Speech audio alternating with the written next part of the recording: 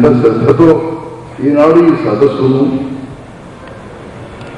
వీక్షిస్తున్నారు ఈ పలుకులు వింటున్నారు అని నాకు ఎంతో ప్రత్యంగమంగా ఉంటుంది. నా యొక్క ఉల్లాసాన్ని తెలియజేస్తున్నాను.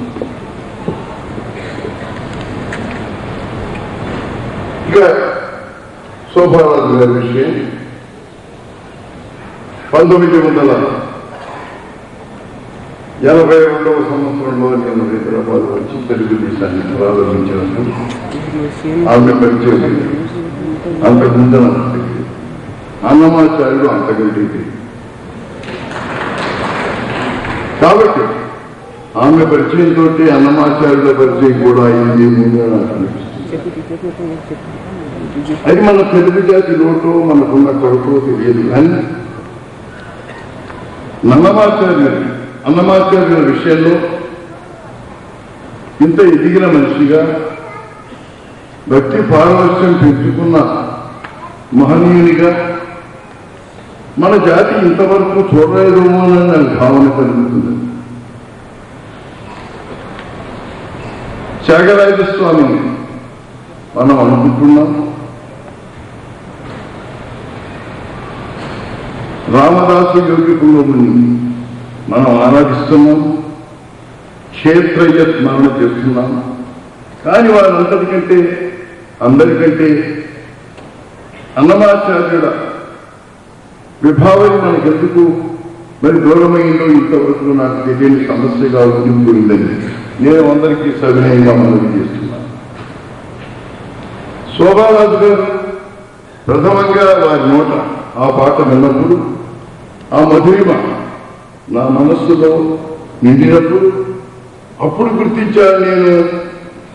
అన్నమాచార్యుడు అనేటటువంటి మహాభక్తివర్యుడు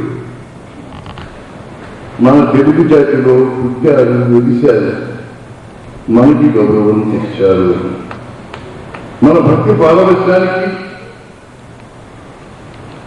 మన యొక్క ఆచరణ విధానానికి పూజ్య భావానికి వారికి ఆకృతి కల్పించాలి ఆ మహనీయులు నిజంగా మన జాతిలో పుట్టడం మనకే ఎంతో గౌరవం తగ్గిందండి మన జాతి పూర్తిగా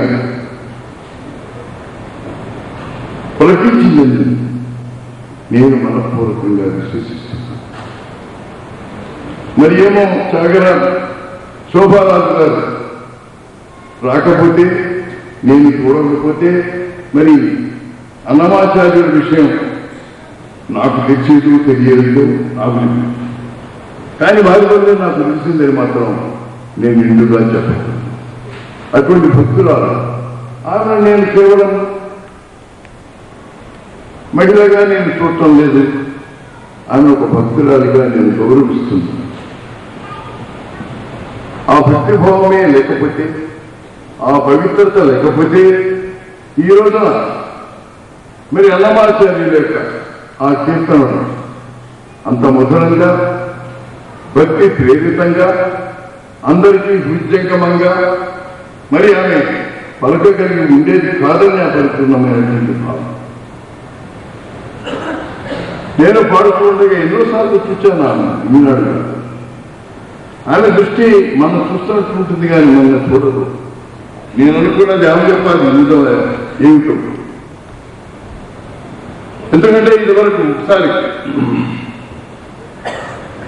నేను పాత్ర వేస్తున్నప్పుడు ఒక ఆయన ఎదురుకుండా కూర్చున్నా. పాండురంగ మహాత్యం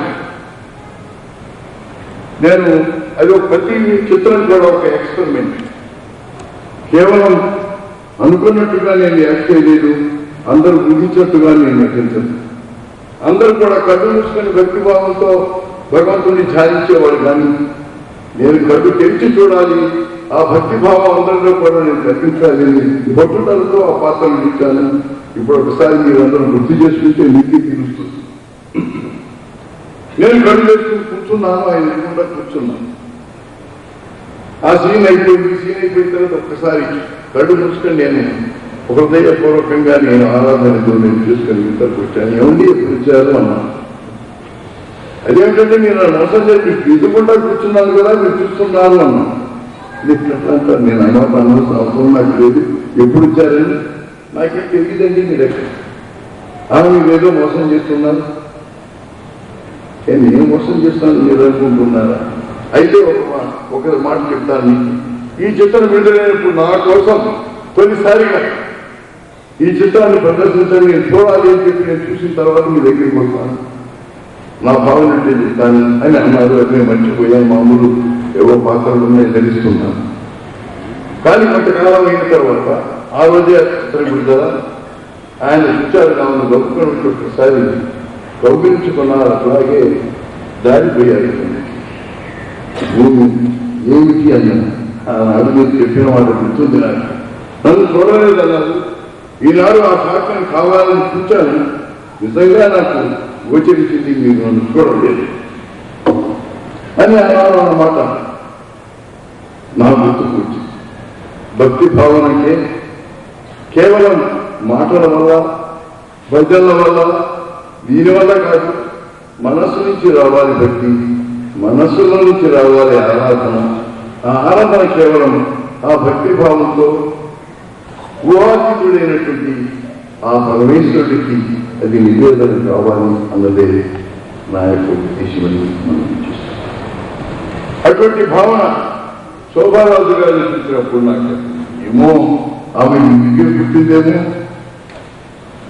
అన్నమాచార్యుడు మరి ఎప్పుడో మన పేరు చెప్పుకున్నాం ఇన్ని సంవత్సరాల క్రితం ఉన్నారనుకున్నాం కానీ మనం చూడలేదు. చూడని వారిని మన కళ్ళ ముందుకు తీసుకొచ్చి వారిని సజీవంగా ధ్వని కల్పనతో మన ముందు నిలబెట్టగలిగింది అని మనకి స్ఫూర్తికి తేగలిగింది ఆమె అంటే ఆమెలో ఉన్న భక్తి ఫలమైంది నిదర్శనమని నేను పరిపూర్ణంగా నటుడిగా విశ్వ విశ్వసి విశ్వసిస్తున్నా. కాబట్టి ఈ విధమైనటువంటి దృష్టి ఈ విధమైనటువంటి నాలో ఇదివరకే ఉన్నది భక్తి అన్నది ఈనాడు కొత్తగా నేనేం నేర్చుకోవాల్సిన అవసరం లేదు. ఆ భక్తిని నా మనసులో ఏదైతే నిండి ఉందో ఆ భక్తిని ఒక్కసారి చేతితో తట్టి లేవగొట్టి మన విధానాన్ని నా కళ్ళగట్టినటువంటి సోదరి మనకి నా శుభాశిస్సులు తెలియజేస్తున్నాను ఇంకా ఇంకా ఎంతో ఉద్యోగమైన విధానంతో అన్నమాచార్యుని మన సమాజంలో బ్రతికించాలి ఆయన అమరజీవి ఆయన పోలేదు ఆయన ధనిలో ఆయన హృదయంలో ఆయన పలుకులో ఆయన ఆవాహంలో తెలుగుతనం నిండి ఉన్నది తెలుగు జాతి గుండె ఉన్నది అని పూర్తిగా ఆమె యొక్క ప్రతిభావంలో తెలుగు జాతికే కాదు అందరికీ కూడా ఈ దేశంలో ఉన్న ప్రతి ఒక్కరికి కూడా మన తెలుగు ప్రాశస్యం తెలిసి రావాలని నేను హృదయపూర్వకంగా కోరుకుంటున్నాను.